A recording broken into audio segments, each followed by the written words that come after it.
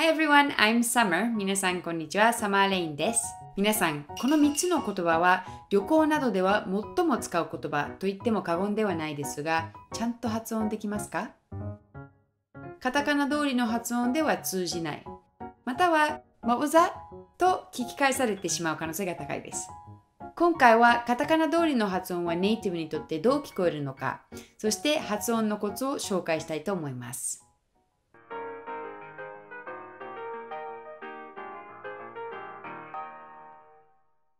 まずは礼儀正しい日本の方がよく使う Thank you からいきましょう。この言葉の難しいところは最初の th の音です。カタカナ通りに発音すると完全に sank 沈んだに聞こえてしまいます。つまり Thank you だと、えーあなたを沈ませたという意味になってしまいます。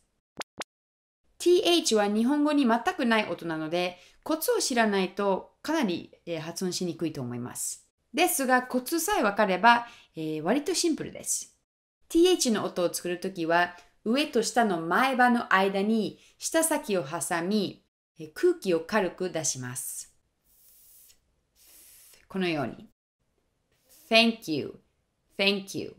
この口の動きになれないかもしれませんが、意識して練習すれば、そのうち考えずにできるようになります。カタカナでは Thank you とさ、あの音にえーなりますが、英語では Thank you, Thank you と、えー正確に言うと air の音ですが、実際の会話では早く発音するので、えー、えにより近いですね。で、Thank you。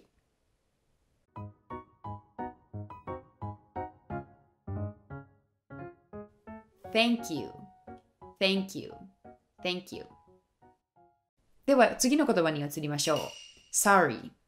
こちらもカタカナの発音とかなり違います。カタカナ通りに発音しますと、sorry、えーつまり、so d に聞こえますかね。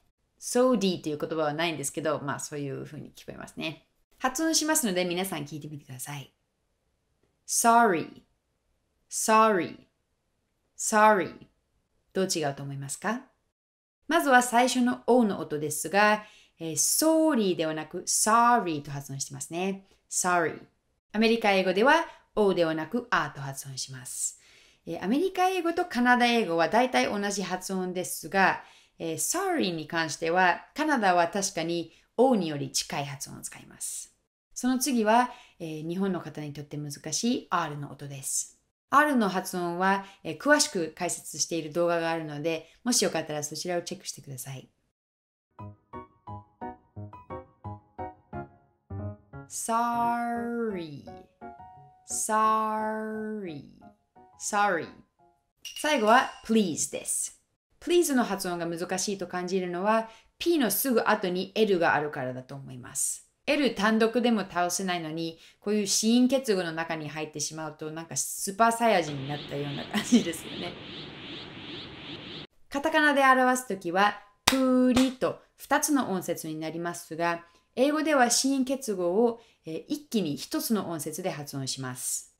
plea, plea。つまり、プのうの部分を削って、すぐに L の下の形に入らないといけないんです。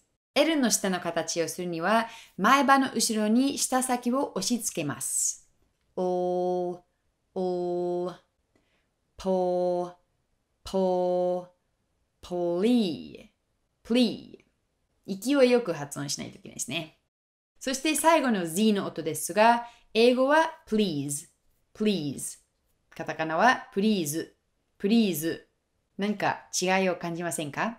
唇を見てもわかると思いますが、カタカナは最後に余分なうの音が入っていますね。please, please と、えー、ずで終わります。つまりカタカナでは please と、えー音節が3つありますが、英語は please, please と、えー一気に全部発音します。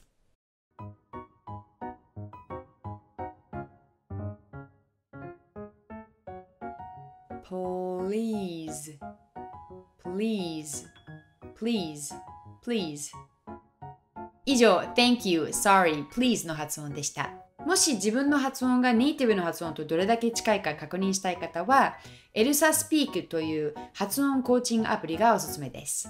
Thank you, sorry, please は無料版で確認することができるので、ぜひ試してみてください。アプリには私が作った発音レッスンもたくさんあります。えー、全部受けたい方は概要欄に85%オフの割引コードがあるので、ぜひご利用ください。それでは、Thank you so much for watching and I hope to see you next time.